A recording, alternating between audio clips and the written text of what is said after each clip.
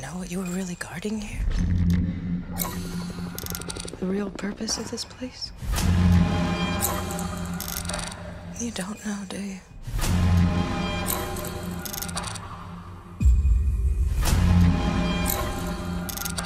But I do.